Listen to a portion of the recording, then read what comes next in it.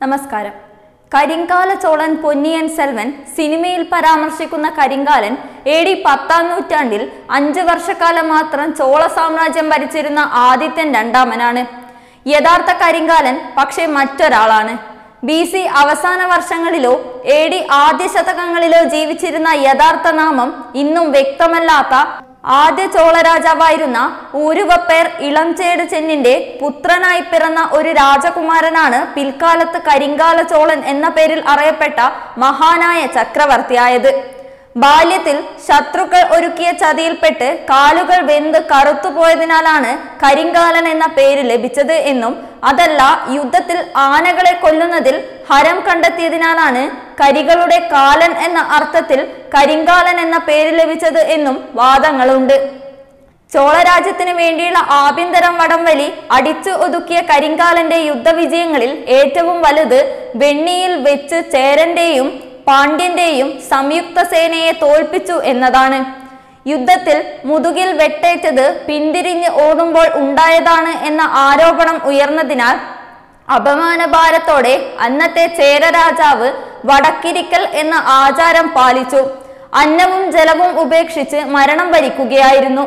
ഇതിഹാസ പുരുഷനായ ഉദിയൻ ചേരനാണ് ഈ രാജാവെന്നും അദ്ദേഹമല്ല പുത്രനായ നെടും ചേരലാതൻ ആണ് കരിങ്കാലനോട് തോറ്റത് എന്നും വാദങ്ങളുണ്ട്. സാധ്യത നെടും ചോരലാതന്റെ കാര്യത്തിലാണ്. കാരണം കരിങ്കാലിന്റെ മരണത്തെ തുടർന്നുണ്ടായ അധികാര തർക്കത്തിൽ ഇടപെട്ട് തന്റെ അളിയനായ ചോള രാജകുമാരന് രാജ്യം നേടിക്കൊടുത്തത് നെടും ചേരലാതന്റെ മകനായ ചേരൻ ചെങ്കുട്ടുവൻ ആയിരുന്നു. ചേരരാജാവിന്റെ ആത്മാഭിമാനത്തിൽ കരിങ്കാലൻ അത്ഭുതപ്പെട്ടു പോയി എന്നും ചേരരാജാവുമായി അദ്ദേഹം സൗഹൃദത്തിൽ കഴിഞ്ഞുവെന്നും നെടുംചേരലാതന്റെ ഒരു മകനായ ആദൻ ആത്തിയെ മകളായ ആദിമന്തി കൊണ്ടും മകനെ ആദന്റെയും ചെങ്കുട്ടുവന്റെയും സഹോദരിയെ കൊണ്ടും വിവാഹം കഴിപ്പിച്ചു എന്നുമാണ് തുടർന്നുള്ള കുറച്ച് നൂറ്റാണ്ടുകൾ ചേരചോള സാമ്രാജ്യങ്ങൾക്ക് ഇടയിൽ വലിയ കലഹങ്ങൾക്ക് കാരണം ആകാതെ ഇരുന്നത് കരിങ്കാലന്റെ കാലത്തുണ്ടായ വിവാഹബന്ധങ്ങൾ കൊണ്ട് തന്നെ ആകണം. ഇത്രയും പറയാൻ കാരണം ചോള രാജാക്കന്മാർ ഹിന്ദുക്കൾ അല്ലായിരുന്നു എന്ന സിനിമാ നടൻ കമലഹാസന്റെ പ്രസ്താവനയാണ്. കരിങ്കാല ചോളൻ യാഗങ്ങൾ നടത്തിയിരുന്നതായി പത്തുപാട്ട് കലിംഗതുപരണി പട്ടിണിപ്പാലയി തുടങ്ങിയ സംഘകാല കൃതികളിൽ വ്യക്തമായ പരാമർശങ്ങൾ ഉണ്ട്.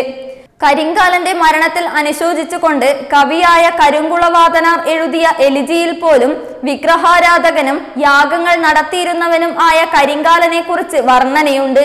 കരിങ്കാലന്റെ അവസാന കാലത്താണ് ചേരൻ ചെങ്കുട്ടുവൻ കൊടുങ്ങല്ലൂരിൽ കണ്ണകിയുടെ ക്ഷേത്രം പണിയുന്നത്. പ്രതിഷ്ഠാ സമയത്ത് സിലോണിലെ രാജാവായ ഗജബാഹുവും സന്നിഹിതനായിരുന്നതായി പരാമർശങ്ങളുണ്ട്. മഹാവീരനുമായി തെറ്റി സ്വന്തം സംഘം സ്ഥാപിച്ച അതിജീവികന്റെ മത അനുയായിയായിരുന്ന കണ്ണകിയുടെ കഥ ചിലപ്പതികാരം എന്ന കൃതിയായി എഴുതിയത് ജൈനഭിക്ഷുവായിരുന്ന ഇളങ്കോവടികളായിരുന്നെങ്കിൽ അതേ കണ്ണകിയെ കൊറ്റവയുടെ അവതാരമായി കണ്ട് ക്ഷേത്രത്തിൽ കുടിയിരുത്തിയത് ശൈവനായിരുന്ന ഇളങ്കോയുടെ ജ്യേഷ്ഠനായിരുന്ന ചെങ്കുട്ടുവനായിരുന്നു.